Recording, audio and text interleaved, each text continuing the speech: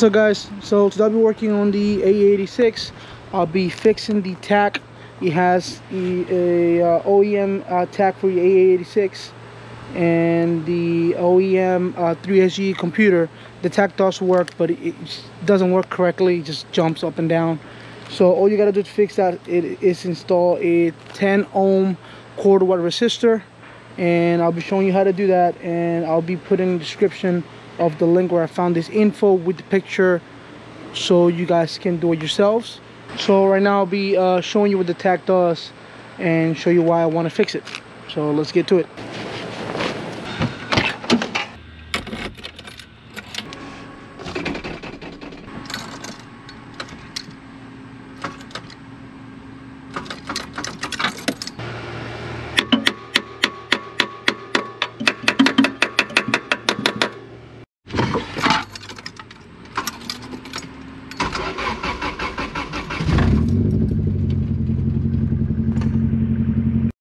Okay, so right now the car idles high, right? That's how it idles.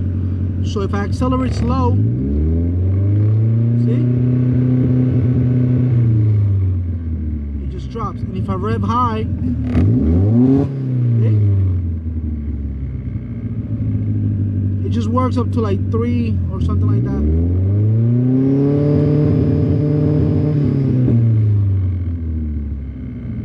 So hopefully we fix that today. All right first things first. I gotta take the whole cluster apart. All right let's get to it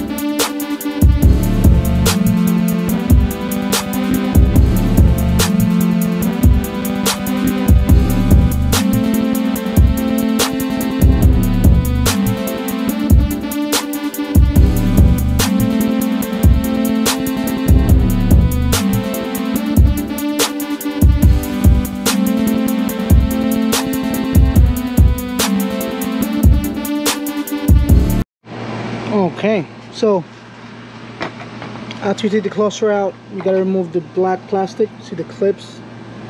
One two three. On the other side four five and six. You just pull the whole thing off. Then you got to remove from the tach side five bolts. One two three and the two in the white right there. There's two remove those five. You gotta come on this side you gotta pull the needle. It's, it, it was really hard I even cut myself pulling it out. I don't know how but I did it. So pull it hard up and it just comes right off. And then when you let me show you real quick. When you pull the needle off there's two screws here which are the very small ones here and then you'll be able to take this out. However you can see it goes underneath the speedometer so you're gonna kind of have to you know pull it up a little bit and just slide it out top and bottom. And you'll be able to pull this thing out.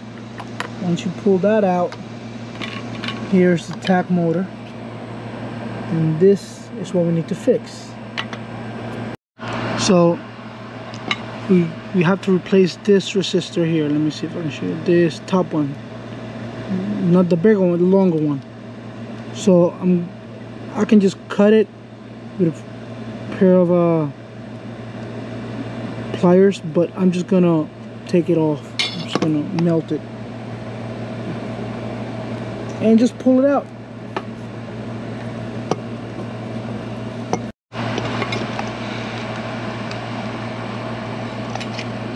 I'm gonna put some pressure with this. Once I got the pressure,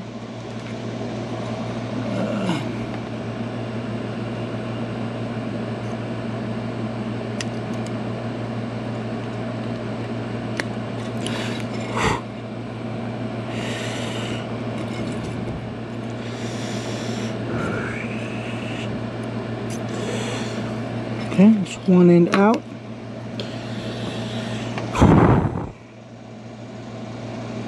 Oh, I didn't even know that.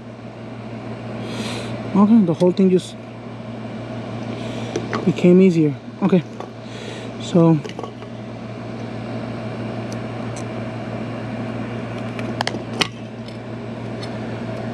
so that's the OEM one. Now I'm just gonna put the same one, the the new one. I'm sorry, uh, in the OEM position.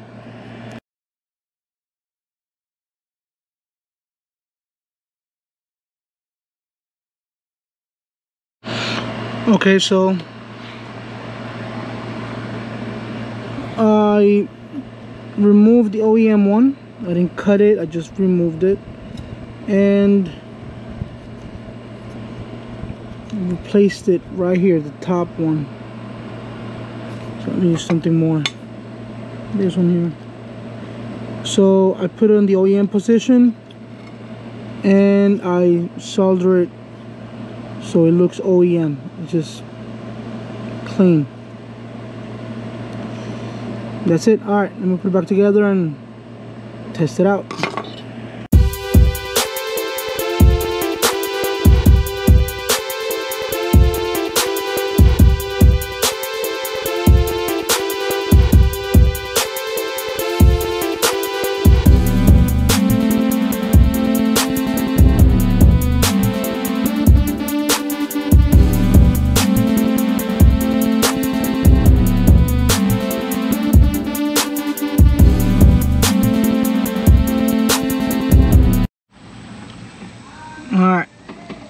Let's see if it works. So I removed the, the old resistor and I replaced it with the new one. So let's see. Let me see if I can turn the lights here a little bit. I don't see no lights there at all. Alright, never mind. Let's see if it works. Okay.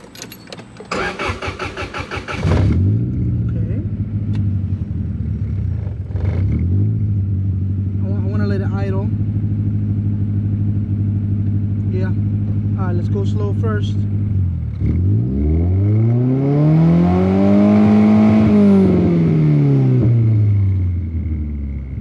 Let's go a little faster, see if it's...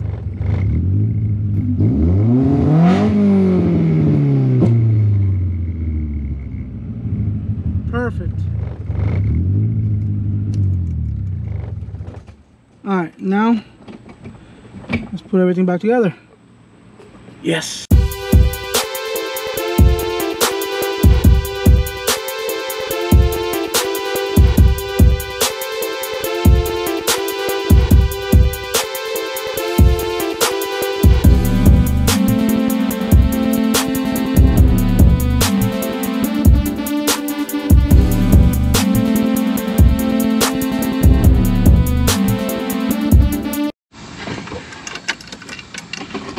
So let's put it back together.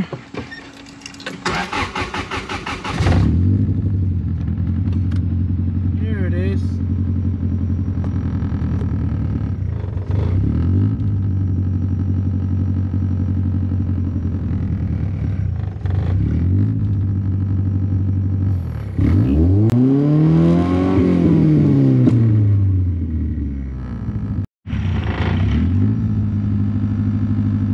So done, it